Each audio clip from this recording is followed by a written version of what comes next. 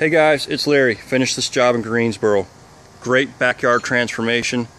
This space had a bad wooden deck, bad concrete, had a building over here that was all in the way, some drainage issues, place wasn't quite big enough.